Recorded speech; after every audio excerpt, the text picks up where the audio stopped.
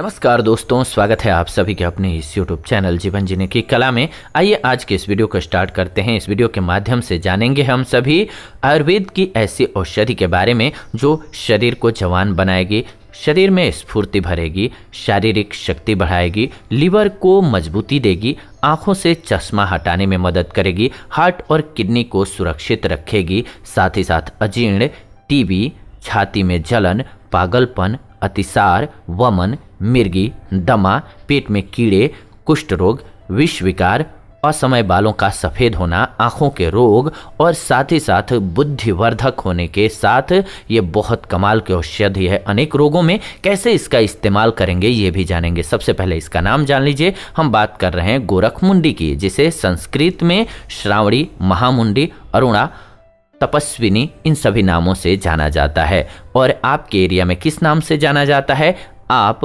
Comments के माध्यम से लिख भेजिए ताकि अन्य लोगों को भी इस बारे में पता चल सके। आइए अब बात करते हैं इसके संबंध में मूत्रजनक होने और मूत्र मार्ग का शोधन करने के कारण मूत्रेंद्रिय के रोगों के लिए ये बहुत अच्छी औषधि है। आइए इसके औषधीय गुणों से वाकिफ होते हैं। वीडियो में अंत तक बने रहिए। कहीं कहीं आपको लग सकता है कि आपके काम का नहीं है, लेकिन अंत तक आप बने रहेंगे तो आपको डेफिनेटली अच्छी जानकारी मिलेगी। गुरखमुंडी के चार ताजे फल तोड़ लीजिए और भली प्रकार से चबाइए और दो घूट पानी के साथ इसे पेट में ले लीजिए, यानी कि उतार लीजिए, पी लीजिए, एक वर्ष तक ऐसा कीजिए तो आँख आपकी नहीं आएगी कभी भी और आँखों की समस्या कभी नहीं होगी, आँखों की रोशनी कभी नहीं जाएगी। गोरखमुंडी की एक घुड़ी प्रतिदिन साबुत निगलने से कई सालों तक आँख लाल नहीं होती है। इसके पत्ते पीस करके मलहम की तरह लेप करने से नारू रोग इसे बाल रोग भी कहते हैं। यह रोग गंदा पानी पीने से होता है।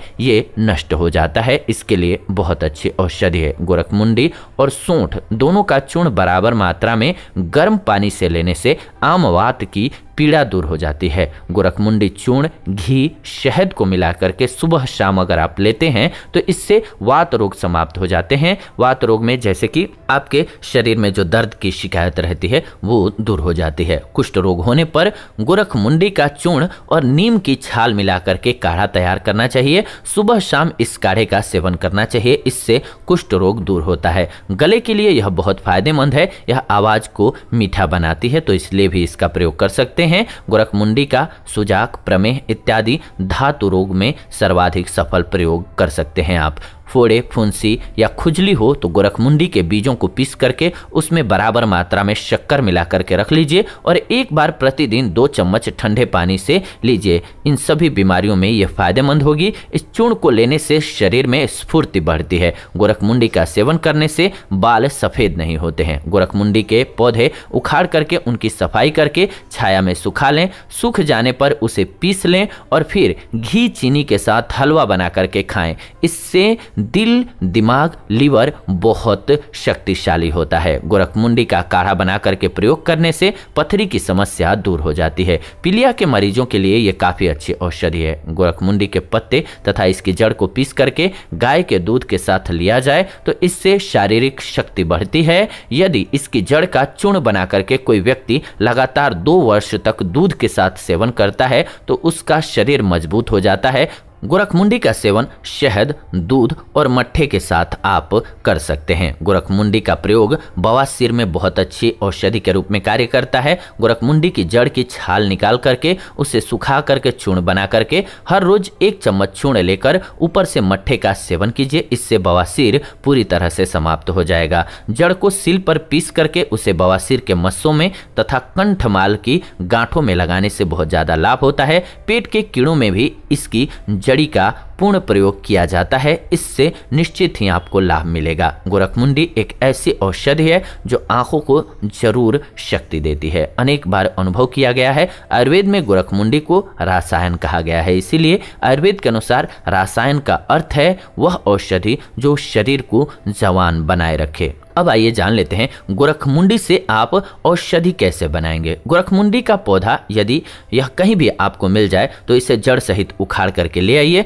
जड़ को छोड़ना नहीं है, ध्यान रखिए। इसकी जड़ का चूर्ण बना करके आधा आधा चम्मच सुबह शाम आपको दूध के साथ प्रयोग करना है। बाकी के पौधे का पानी मिला करके रस निकाल लेना है। इस रस से 25 प्रतिशत यानी कि एक चौथाई घी लेकर के पका लेना है। इतना पकाएँ कि केवल घी रह जाए, यह भी आँखों के लिए बहुत गुणकारी औषधि बन जाएगा। बाज़ार में यानी कि पंसारी या कंथालिया की दुकान पर जाएँगे तो साबुत पौधा या जड़ नहीं मिलेगी आपको, केवल इसका फल मिलेगा। वह प्रयोग करें 100 ग्राम गोरख मुंडी ला करके पीस लें, बहुत आसानी से पीस जाती है ये।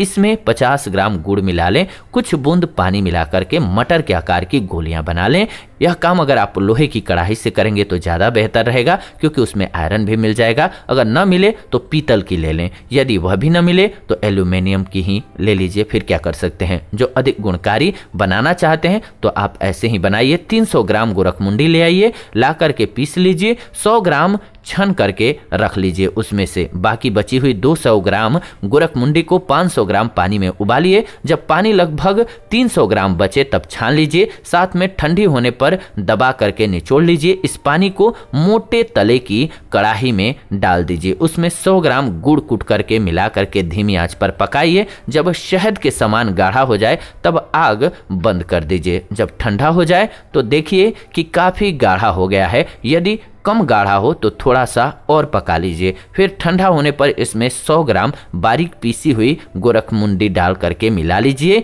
इसके बाद 50 ग्राम चीनी या मिश्री में 10 ग्राम छोटी इलायची मिला करके आपको पीस लेना है और छान लेना है। हाथ को जरा सा देसी घी लगा करके मटर के आकार की गोलियाँ बना लेनी है, नहीं तो हाथ में चिपकेगा। गोली बना करके चीनी इलायची वाले पाउडर में डाल देना है ताकि गोली सुगंधित हो जाए। तीन दिन छाया में सुखा करके प्रयोग करना है। इलायची केवल खुशबू के लिए इसमें डाला हुआ है और थोड़ा सुपाच्य होने के लिए। अब जानिए इसको सेवन करने का तरीका। एक एक गोली दो समय गर्म दूध के साथ हल्के गर्म पानी से दिन में दो बार लीजिए। सर्दी आने पर दो दो गोली आप ले सकते हैं। इसका चमत्कार आप प्रयोग करके अनुभव करेंगे और अनुभव करने के बाद कमेंट्स के माध्यम से ज़रूर बताइएगा।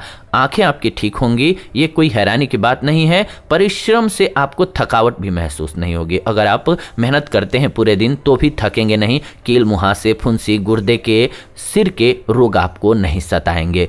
जिन्हें पेशाब कम आता है या शरीर के किसी हिस्से से खून गिरता है तो ठंडे पानी से इसे दीजिए। इतनी सुरक्षित है कि गर्भवती को भी आप दे सकते हैं। ध्यान रखें, दो से चार दिन में कोई लाभ नहीं होगा। लंबे समय तक इसको लेना होगा। आयुर्वेदिक औषधियों के साथ पेशेंस रखना पड़ता है। गोली को अच्छे से सुखाना होगा, नहीं तो अंदर से फफूंद लग जाएँगे। इस बात को ध्यान रखें, ये पाचन शक्ति को बढ़ाती है, इसीलिए भोजन समय पर खाएँ। चाय पीकर के भूख को खत्म न करें। चाय पीने से यह दवाई लाभ के स्थान पर आपको हानि करने लगेगी। इस बात का ध्यान रखें। तो ये गोरखमुंडी कमाल की औषधि है। इन सभी रोगों से आपको बचाएगी। इस प्रकार से प्रयोग कर लेंगे तो। लेकिन आपको इसके लिए इन नियमों का पालन करना होगा। और जिनको लगता है कि अब जीवन में बीमार होने लगे हैं, समस्या आने लगी है, उन्हें एक बार इसका सेवन इस प्रकार से कर लेना चाहिए, बहुत सी बीमारियों से बच जाएँगे। ये आज की वीडियो रही। ऐसी ही नई वीडियो के लिए चैनल को सब्सक्राइब करके बेल नोटिफिकेशन को ऑन कर लीजिए, ताकि नई वीडियो जब भी लेकर के आए, नोटिफिकेशन आप सभी को सबसे पहले मिले। लाइक कीजिए, वीडियो पसंद आया तो शेयर कीजिए उन लोगों के साथ जिनको इसकी ज़रूरत है, और कमेंट कीजिए, आपके मन में कोई सेहत संबंधी सवाल है तो हम आने वाले दिनों में उन टॉपिक्स पर आप सभी के लिए ज़रूर बनाएँगे। फ़िलहाल आज के इस वीडियो में इतना ही। विदा लेते हैं आज के इस एपिसोड से। जुड़ेंगे नए एपिसोड में नई जानकारी के साथ। तब तक आप सभी खुश रहें, स्वस्थ रहें। धन्यवाद। नमस्कार दोस्तों।